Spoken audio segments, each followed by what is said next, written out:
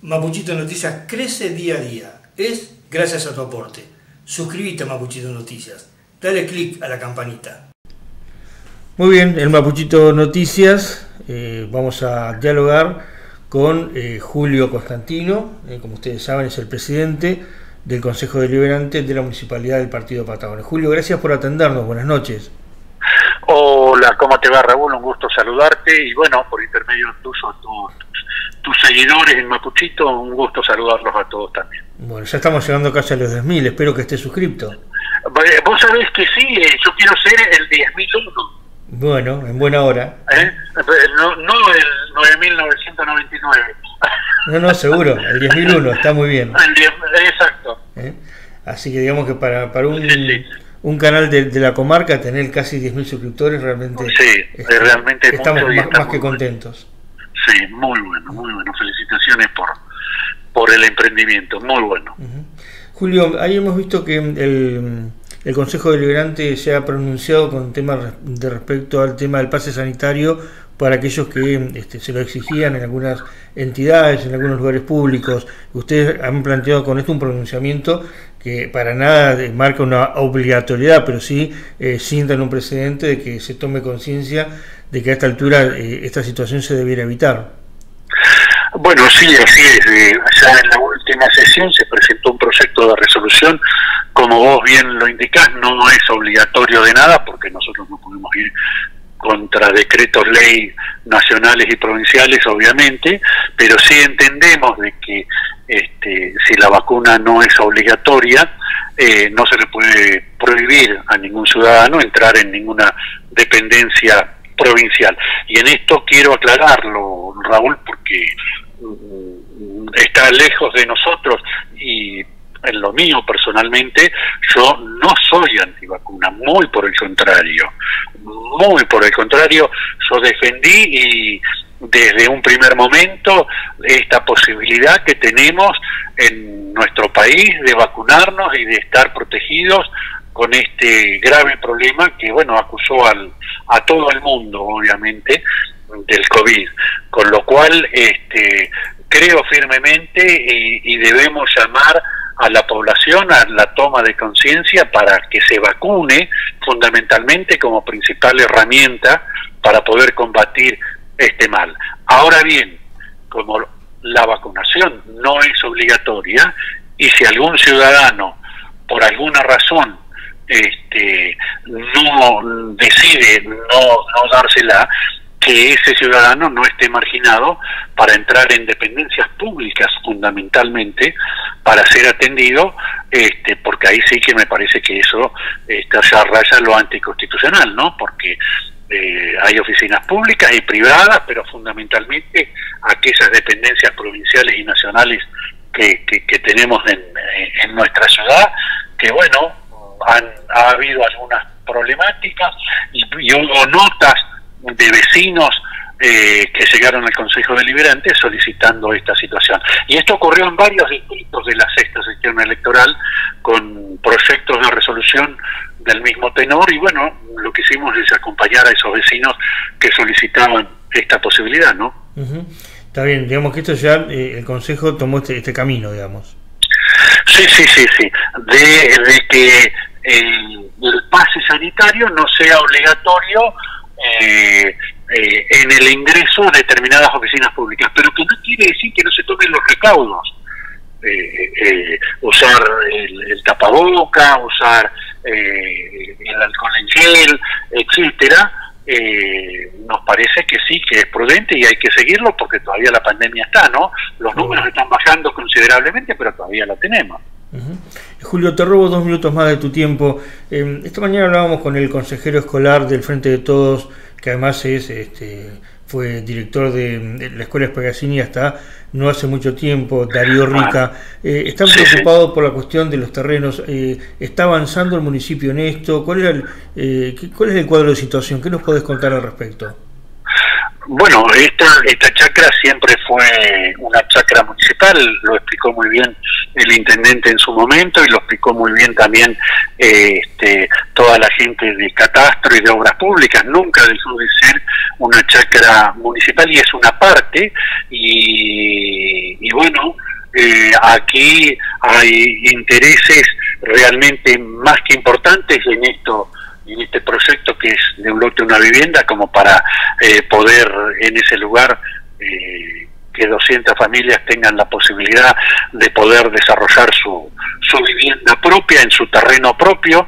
Y no es que se le quita nada a la chacra de lo que es eh, el predio donde está la escuela Carlos Espegacini, yo fui docente de esa escuela y soy un defensor de la misma, con lo cual este, todo lo que es el predio sigue estando y en este en esta chacra que no está precisamente dentro de ese predio había unas unos 20 animales y el municipio tiene y a su vez también la provincia tiene otras eh, otros espacios donde poder utilizarlo hasta más cerca todavía de lo que es este, el, eh, la escuela propiamente dicha.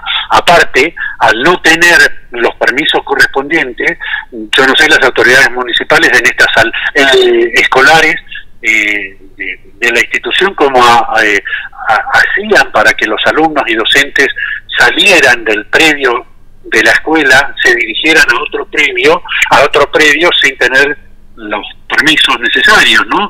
Yo fui docente y vicedirector de otra escuela en la cual cada vez que se hacía una salida educativa dentro de la misma ciudad y fuera de la ciudad había que tener los permisos de los papás, los horarios para salir y entrar, con lo cual eh, el, el, tener un predio por fuera hay que tenerlo realmente como eh, debe ser y a su vez también cedido eh, eh, por, por ordenanza o por ley si fuera un predio provincial para la escuela y para la Dirección General de Cultura y Educación para desarrollar las tareas educativas, con lo cual eh, es un buen momento para eh, también definir ese lugar que está y, y no se pretende quitarlo, ¿no? Bajo ningún punto de vista. Cuando fuiste docente del establecimiento, ¿vos utilizabas esa parte del predio? No, eh, en ese entonces no directamente los animales, yo te estoy hablando que fui docente hace mucho tiempo en esa escuela, ¿eh? hace por lo menos 30 años, se utilizaba dentro de lo que era el predio que hoy conocemos, ¿no? Yo daba clases en lo que era la, la pista de, de, atletismo y que estaba detrás de lo que era el internado y la cancha de fútbol. Estábamos dentro del predio desarrollando nuestra labor educativa. No salíamos del predio, por lo tanto no hacía falta un permiso especial. Nuestras clases se desarrollaban en nuestra aula, que era la pista de, atletismo. eh, Julio, eh, ¿cuáles son los temas que están marcando la agenda allí en el Consejo Deliberante, más allá de estas cosas que hemos hablado? Bueno, nosotros estamos eh, impulsando varios proyectos dentro de lo que es el Consejo Deliberante.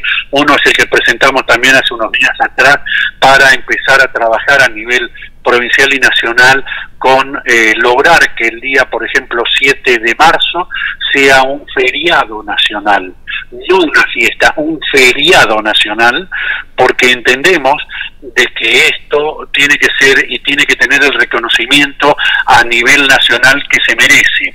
Vos mirá Raúl de que este, de las tres grandes defensas que se hicieron de nuestra soberanía eh, dos son continentales y una insular, tienen su fecha. La insular es la del 2 de abril con su feriado nacional y que obviamente se, se conmemora todos los años y a nivel continental hay dos, una la vuelta de obligado, que bueno, lejos de las cuestiones que pudieron ocurrir, encima esa batalla se perdió, pero está bien que así se, se, se, se recuerde como momento histórico de nuestra soberanía, y la otra es la fecha del 7 de marzo, en donde se hizo una soberanía, no de la Patagonia ya, yo digo que es una, una defensa de la soberanía nacional cuando el imperio brasilero este, quiso e intentó entrar en nuestra zona y 44 gauchos armados con nada dos fusiles, cuatro este, cañones, este, pero con mucha astucia, mucha inteligencia defendieron a nuestra soberanía patagónica y nacional. Y yo creo que esto es necesario tenerlo para que con el tiempo, porque es un proceso que no es fácil, hay que reformar una ley nacional eh, en donde podamos lograr un feriado para el 7 de marzo, fundamentalmente teniendo en cuenta que en pocos años más vamos a llegar a los 200 años de dicha de dicha eh, epopeya y creo que es necesario terminarlo con un feriado nacional que aparte turísticamente abriría otra puerta, Raúl, porque vos pensás que un santafesino, un santiagueño, un jujeño, un mendocino, ve que el 7 de marzo es un feriado nacional y entonces se va a preguntar qué pasó, dónde está, qué es Carmen de Patagones, qué ocurrió ahí. Entonces nuestro festejo va a tener también otra connotación y esta fiesta que siempre hacemos va a tener también otra connotación nacional que hoy no la tiene. Así que estamos trabajando firmemente también con el intendente municipal e invitando también a todos los bloques para que, bueno, eh, podamos tener la respuesta y sabemos que es un trabajo largo que nos va a costar pero bueno, estamos decididos a, seguir trabajando en todo esto, ¿no?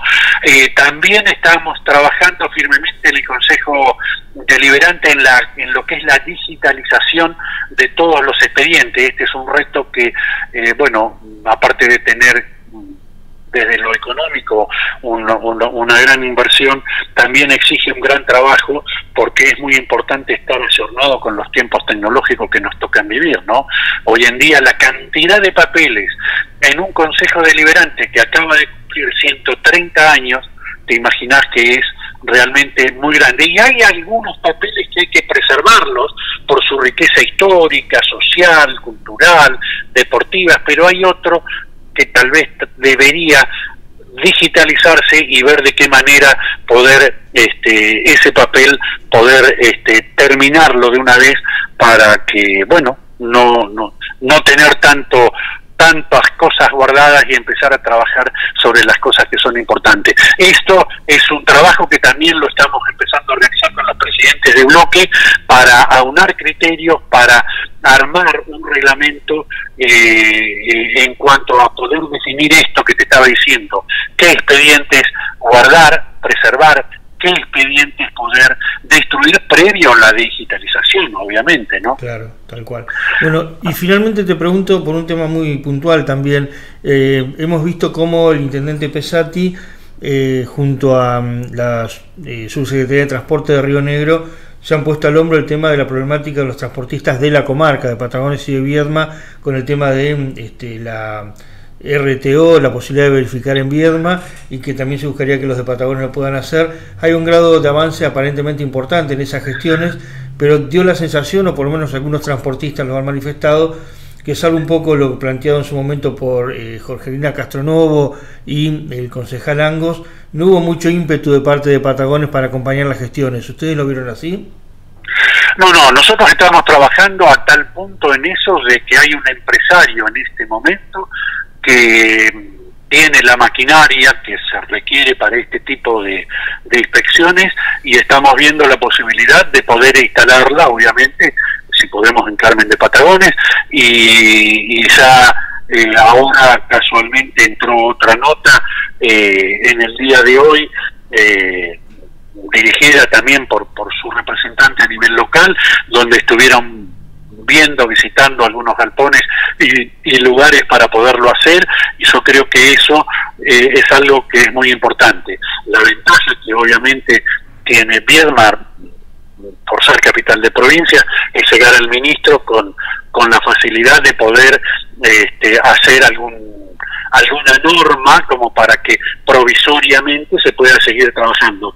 Pero nosotros hemos estado este, reuniéndonos y reuniéndonos fundamentalmente con algunos de estos representantes como para poder avanzar. También hubo una reunión con transportistas aquí en el Consejo Deliberante donde, bueno, no solo se aceptó la inquietud, sino que también eh, se empezaron a hacer estos contactos, ¿no? Así que esperemos ya sea aquí o en Viedma, pero que se pueda dar lo antes posible.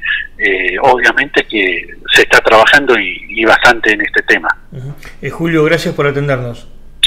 Por favor, gracias a vos, Raúl. Aprovecho la oportunidad para saludarte y, bueno, desear una feliz semana eh, en esta semana tan importante, ¿no? Que se nos viene el 2 de abril, eh, un nuevo aniversario de, de la toma de la reivindicación que se hicieron en las Islas Malvinas y el Consejo Deliberante junto con la Comisión de, Excombatientes somos los encargados de organizar el acto para el próximo sábado a las nueve y media de la mañana y aprovecho la oportunidad que me das para invitar a todos los vecinos de Carmen de Patagones y la zona y de todo el distrito a acercarse a, a este acto que es muy importante para todos nosotros. Seguro que sí, seguramente así estaremos. Bueno, muy bien, adiós, buenas noches. Un abrazo, que estés muy bien.